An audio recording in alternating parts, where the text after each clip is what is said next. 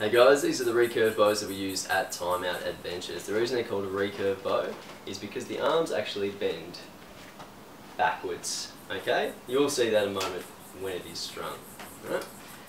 The string has two loops, one at either end, and a uh, finger protector right in the middle.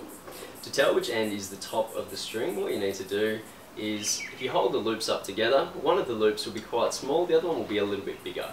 Okay? The small loop is the one that goes on the bottom of the bow. The way that you can tell which end of the bow is the bottom is they do have writing on it. So you hold that the right way up. Small loop goes on the bottom. It clips over the end there.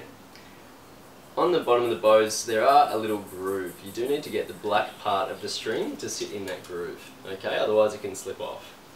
Then what you need to do, hold your string up, hold your bow out, step your left leg over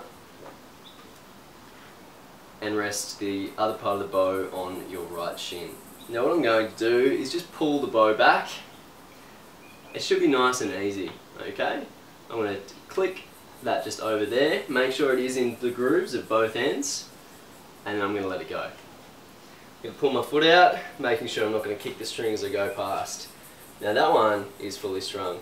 As you can see, the, uh, the finger guards line up with the arrow rest here, nice and straight.